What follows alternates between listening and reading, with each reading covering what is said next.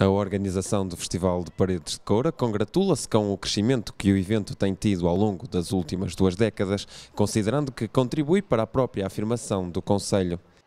Nós fizemos deste canto que é a nossa terra um centro da música alternativa para o mundo inteiro e isso é um feito que ao fim de 20 anos tem que ser celebrado com muito orgulho. A intenção dos responsáveis é manter nos próximos anos os princípios que estiveram na gênese do festival.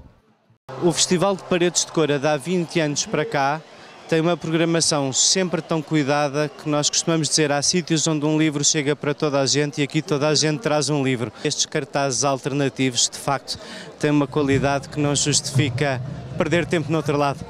João Carvalho, membro fundador do evento, também realça a importância do festival para o Conselho.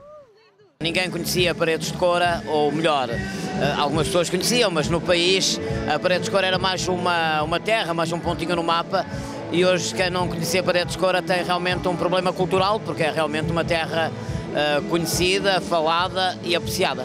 O responsável garante que atualmente Paredes de Cora é sinónimo de qualidade e a constituição do cartaz vai reger-se sempre pelos mesmos princípios.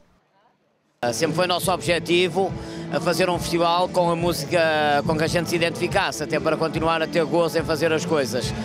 Quando isso deixar de acontecer, provavelmente deixamos de fazer o festival.